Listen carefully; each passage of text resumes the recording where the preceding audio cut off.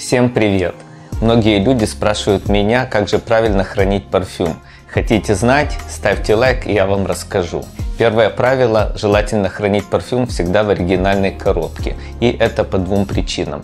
Первая причина – коробка защищает парфюм от света, который может попадать на него. И второе – это то, что сама коробка не дает температурным изменениям сильно влиять. Второе правило – желательно не хранить парфюм во влажных местах, что-то вроде ванной, потому что там постоянная влажность, и влажность может попадать в сам флакон, и также она плохо влияет на парфюм. Еще одно правило – не стоит хранить парфюм в машине, потому что машина все время нагревается, охлаждается, получаются перепады температур, и это тоже не в лучшую сторону влияет на парфюм.